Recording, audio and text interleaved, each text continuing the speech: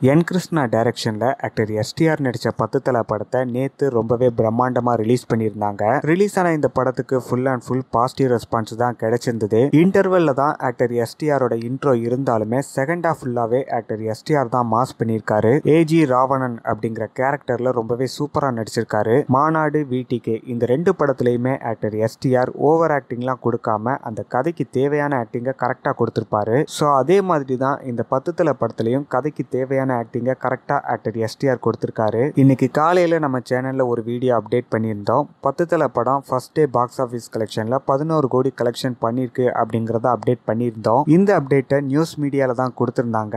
ஆனால் இப்போ பத்து தலை படத்தோட ப்ரொடக்ஷன் கம்பெனியே இந்த படம் டே ஒன்ல எவ்வளோ கலெக்ட் பண்ணியிருக்கு அப்படிங்கிறத அஃபிஷியல் அப்டேட் பண்ணியிருக்காங்க. பத்து தலை படம் முதல் நாளில் வேர்ல்டு வைட் பாக்ஸ் ஆஃபீஸ் கலெக்ஷனில் பன்னெண்டு புள்ளி மூணு கோடியாக கலெக்ஷன் பண்ணியிருக்கு அப்படிங்கிறத அஃபிஷியல் அப்டேட் பண்ணியிருக்காங்க. அது மட்டும் இல்லாமல் ஆக்டர் எஸ் எஸ்டிஆரோட கரியரில் இதுதான் அவரோட பெஸ்ட் ஓப்பனிங் அப்படிங்கிறதையும் அப்டேட் பண்ணியிருக்காங்க. அதுவும் பார்த்தீங்கன்னா ஒரு நான் ஹாலிடேல ஏர்லி மார்னிங் ஷோ கூட இல்லாமல் இந்த படம் இவ்வளோ பெரிய கலெக்ஷனை கொடுத்துருக்கு. ஸோ பத்து தலை படத்தை சேர்த்து ஆக்டர் எஸ்டிஆர் ஒரு ஹேட்ரிக் ஹிட் கொடுத்துருக்காரு அப்படிங்கிறதுல எந்த சந்தேகமும் இல்லை. இந்த படத்துக்கு அப்புறமா actor STR director Desingh Periyasamy டைரக்ஷனில் அவரோட நாற்பத்தி எட்டாவது படத்தில் நடிக்க போகிறாரு உலகநாயகன் கமல்ஹாசன் அவர்கள் தான் இந்த படத்தை ப்ரொடியூஸ் பண்ண போகிறாரு